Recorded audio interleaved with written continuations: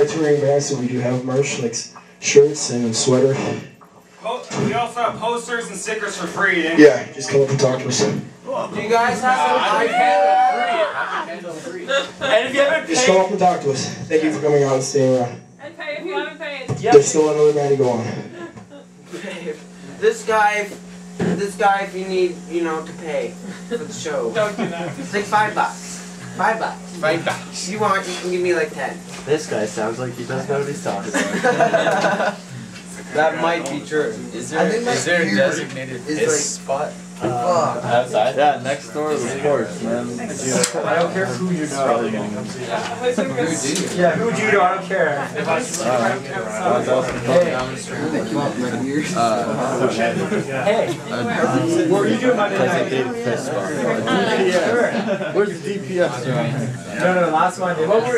oh, Yeah, yeah.